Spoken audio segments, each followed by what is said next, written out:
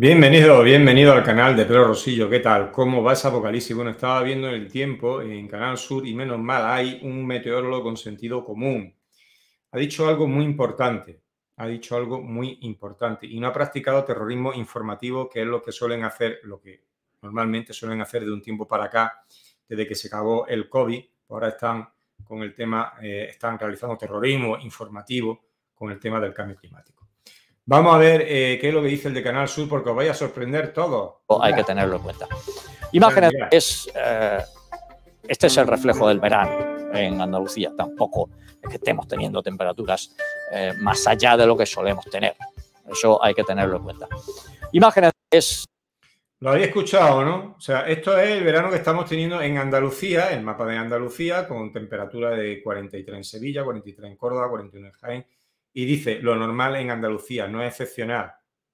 Es que no es excepcional realmente, es que en Jaén y en Córdoba, a las 2 de la tarde, tú un huevo en, lo, alto de la acera, pero vamos, desde que yo era pequeño, desde que yo era pequeño.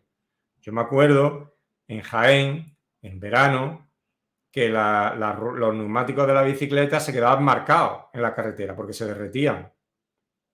Y no, era, no había el cambio climático, es que eh, era así. O sea, ¿qué queremos? ¿Que haga 20 grados en Jaén? Entonces sí que sería preocupante. Entonces, alguien, alguien con algo de sentido común que no realiza terrorismo informativo y que dice la verdad, es lo normal en esta época. Es lo normal, estas temperaturas. Lo mismo que otro año, lo mismo que, otro año. Bueno, eh, también quería enseñaros otra cosa. Aquí tenemos al señor Lula da Silva, de los pobres el de los pobres. Bueno, ya sabéis de que estamos desmonetizados precisamente por ir en contra del relato oficial, no creernos lo que nos cuenta la televisión.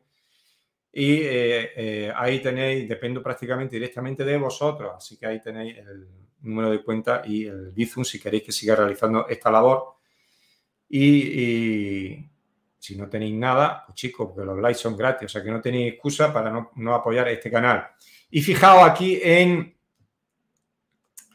en Lula da Silva. el propio Lula da Silva está pidiendo un gobierno mundial.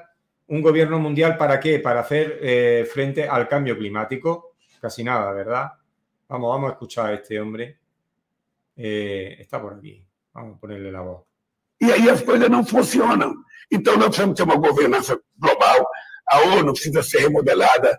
A ONU não pode continuar com a mesma estrutura que ela foi criada em 1945. E é por isso, show, que o, o, o Brasil tem exigido uma nova governança mundial. Por que uma nova governança mundial? Porque se você tirar uma decisão aqui em Belém sobre a questão do clima e não houver uma decisão de cumprimento, volta para o Estado Nacional e os congressos nem sempre aprovam. E aí as coisas não funcionam.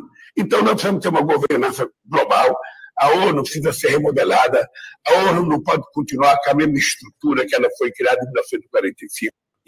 Pues ya lo habéis visto, el propio Lula diciendo que hace falta un nuevo orden mundial, un nuevo, que, de eso se trata el nuevo orden mundial. Se trata de un gobierno mundial, una religión mundial, un banco central único mundial, una moneda única mundial. De eso se trata. Ahí lo tenéis. El, el profeta de los pobres brasileño pidiendo un gobierno, un solo gobierno mundial efectivamente haciéndole los juegos a los grandes capitalistas, a los más ricos del, planeta, porque esos son los que quieren un solo gobierno mundial, los más ricos del planeta, con un banco central manejado por ellos, evidentemente. evidentemente. ¿Y todo por qué? Por el cambio climático. O sea, cualquier excusa a esta gente le es válida para, para una, una guerra, una pandemia, el cambio climático, yo qué sé, la invasión de los extraterrestres, cualquier cosa les sirve para pedir un gobierno mundial cualquier cosa. E, e, esa es su única obsesión, un gobierno mundial, un gobierno mundial. Esa es su única obsesión. Y nada más, que, que no os preocupéis por nada, porque como siempre digo, la verdad al final no hace libre. Gracias, hasta la próxima.